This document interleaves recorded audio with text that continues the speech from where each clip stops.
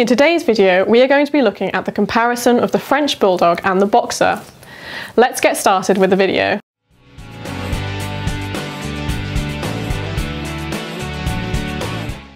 Welcome back to the French Bulldog channel. If this is your first time here, my name's Mimi. I'm a canine leader here at fenrircanine this channel is dedicated to helping you learn everything you could possibly want to know about the French Bulldog, then how to become high-level canine leaders that can raise perfect French Bulldogs.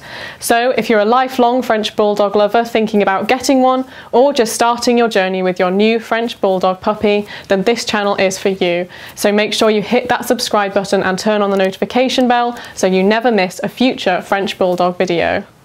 So then let's get into today's video where we will be looking at the differences between the French Bulldog and the Boxer.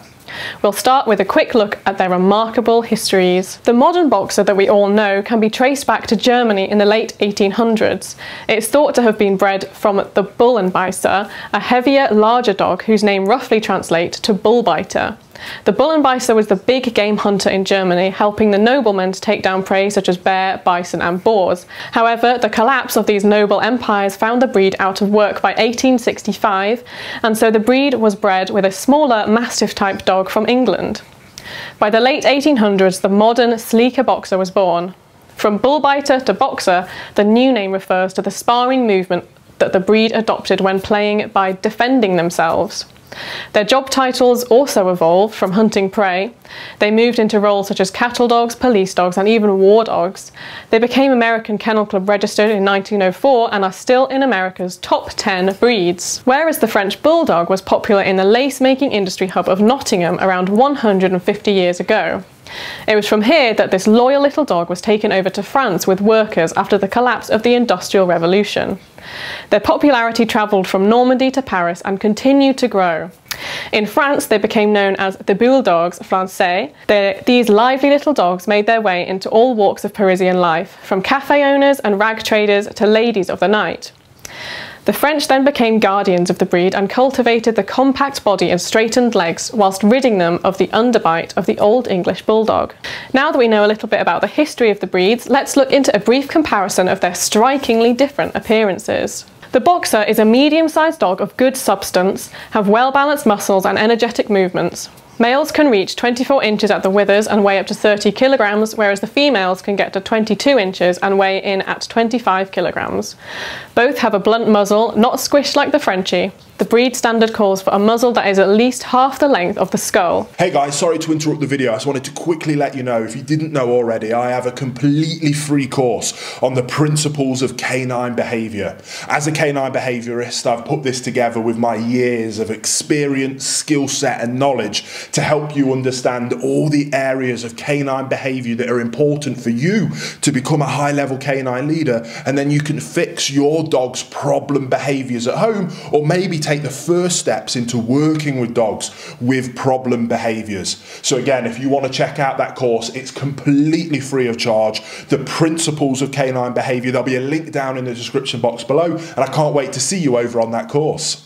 They have an exceptionally expressive face with bright eyes that convey intelligence. The wrinkled forehead is just full of character.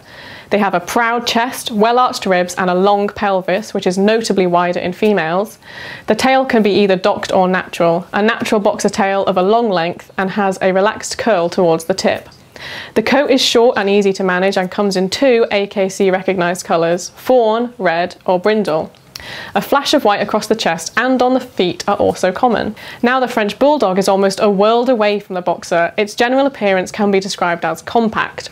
They will be no taller than 19 inches at the shoulder and male should weigh no more than 12 kilograms. Female should be no more than 10 kilograms. The French Bulldog Club of England describes them as having no point exaggeration, meaning that they should be the polar opposite of a dachshund.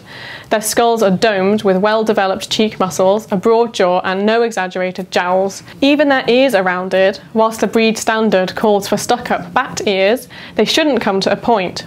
Perhaps the most striking feature, or lack of, in a French Bulldog is its muzzle. This breed has a famously short muzzle, making them a brachycephalic breed.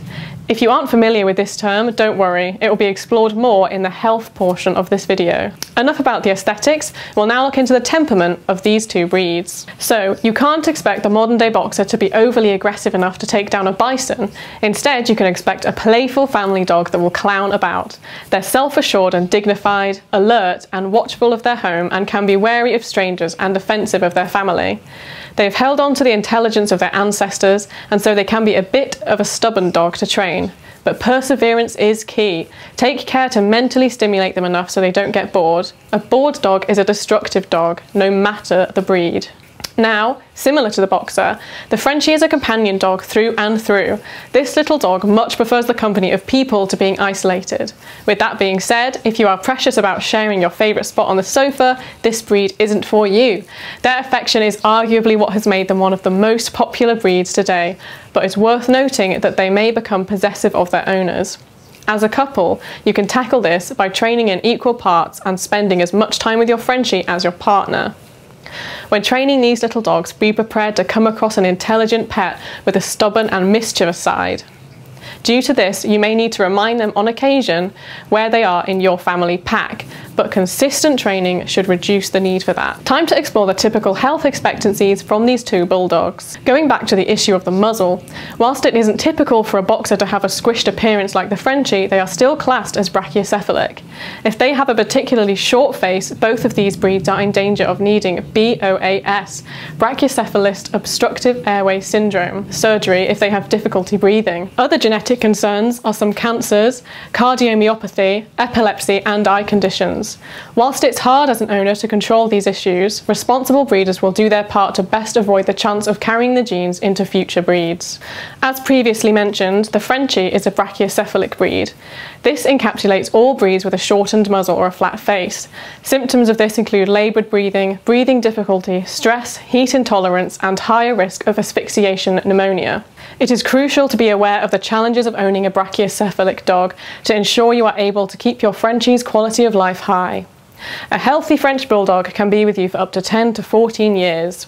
With their good ligament strength and compact size, they are at a lower risk of broken bones when they're charging about in boisterous play. Whilst they love a good romp around, they shouldn't be allowed to overly exert themselves. Despite the detriment of their flat faces, the French Bulldog tends to have good skin, good fertility, and isn't prone to tumours. This is all dependent on the care, lifestyle, and diet your French Bulldog has, but generally speaking, they're hardy little dogs. Now for more on their training and intelligence. A boxer is an agile, fun-loving dog. This lends them to agility agility training. They have no strong urge to chase small animals like a sighthound, nor do they use their nose like a spaniel, but they have the intelligence and physical stamina to thrive on an agility course.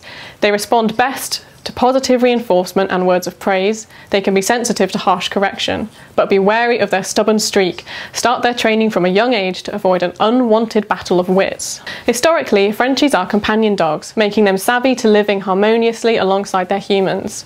But as much as they love to please us, they are stubborn to a fault if left untrained from a young age. Introducing simple commands as puppies will allow them to learn what it means to please you. Like the boxer, they respond well to positive reinforcement and food rewards, not so much to harsh correction. Whilst you can't expect a dog that rivals those at Crufts, you'd be surprised how intelligent and eager to learn these little dogs are. Consistent training will mean that you can teach your Frenchie tricks throughout their lifetime. I hope you enjoyed today's video. If so, make sure you hit that like button, get involved down in the comments section below, and don't forget that if you are new here, to make sure you subscribe. We have two dedicated French Bulldog videos coming here every week, so I can't wait to talk to you again on the next episode of the French Bulldog channel.